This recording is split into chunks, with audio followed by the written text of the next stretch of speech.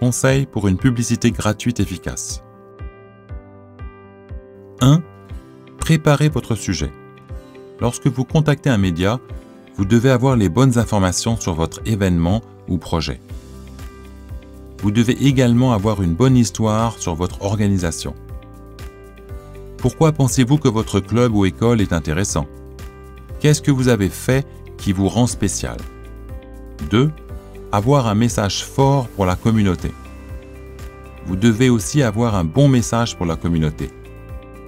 Pourquoi doivent-ils travailler avec vous? Comment la communauté tire-t-elle profit en travaillant avec vous? Comment les gens de la communauté peuvent-ils s'engager? 3.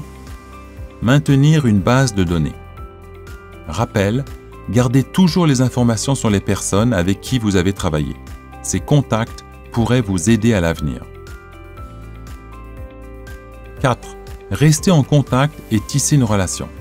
Rappelez-vous que vous pouvez garder des liens avec les gens de la presse en leur envoyant une lettre de temps en temps ou contactez-les en personne pour rester en contact. Ces personnes peuvent être aussi invitées à certains événements. Ainsi, vous pouvez rester amis et partenaires étant donné qu'elles penseront à vous et n'oublieront pas votre travail.